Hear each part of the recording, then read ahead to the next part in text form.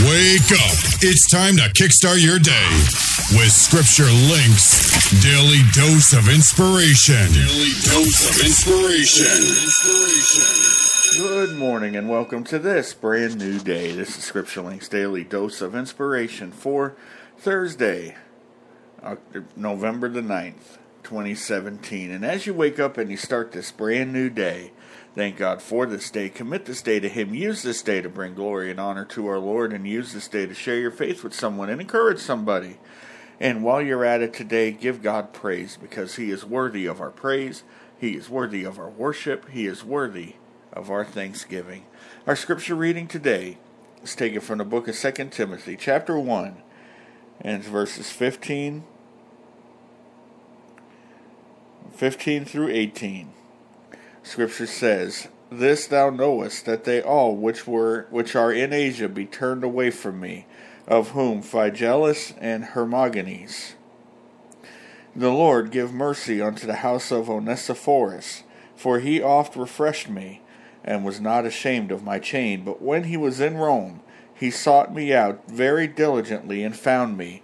The Lord grant unto him that he may find mercy, the mercy of the Lord in that day, and, and how many things he ministered unto me at Ephesus, thou knowest very well.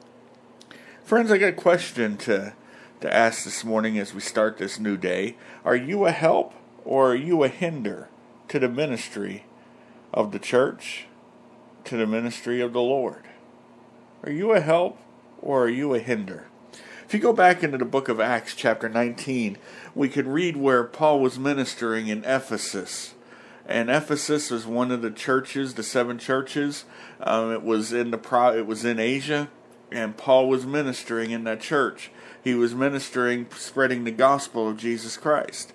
And some people started confronting him and started talking bad about the the what Paul's message and tried to shoot it down. Among who two people are listed here in verse 15 of, of 2 Timothy chapter 1. And this is the only spot that they're called out by name, and that is Phygellus and Hermogenes.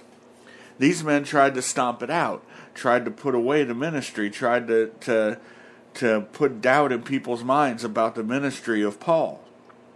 But then we read down into the next verse, verse 16, and we read about somebody else. He said, The Lord gave mercy, or the Lord gave give mercy unto the house of Onesiphorus, for he hath oft refreshed me, and was not ashamed of my chain. Remember, when Paul was writing to Timothy here, he was in prison. He was in a Roman prison. And and he, he's talking about a man named Onesiphorus. Now, if you've read other letters of Paul, you know that in Philemon he's talking about a man named Onesiphorus and Onesimus, and that's two different people here we're referring to. Onesiphorus was somebody who came and refreshed Paul. In fact, in verse 17 he says, "But when he was in Rome, that's where Paul was one of the places Paul was imprisoned, he sought me out very diligently and found me." That man's mission was to go and to help Paul, to minister to Paul, to to refresh the apostle Paul because if you think of it this way if you go out and you try to do something for the Lord, if you go out and you witness to somebody and the person rejects your message, you feel a little bit down. Paul was in prison because of his his message. When he was out doing his missionary journeys, Paul was shot down by these guys, Phygellus and Hermogenes. They opposed his message. But then came Onesiphorus to refresh him. And Paul's asking for a special blessing upon him. What's that got to do with us today? This is what it has to do with us. Are we a help to the ministry? Because let's face it, not all of us are called to go out and to preach the gospel, making your perfect three point sermon with your your stories and everything else in there. But all of us are called to do something. On my way to the nursing home every Sunday, I pass by two or three churches that are right in a row going down the road to the nursing home.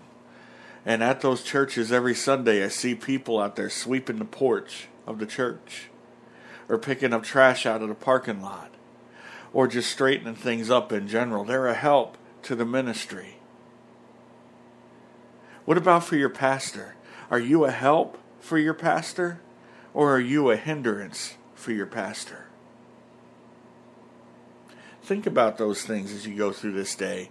And remember, get into God's Word and allow God's Word to get into you. Then share that Word with someone today. Have a blessed day.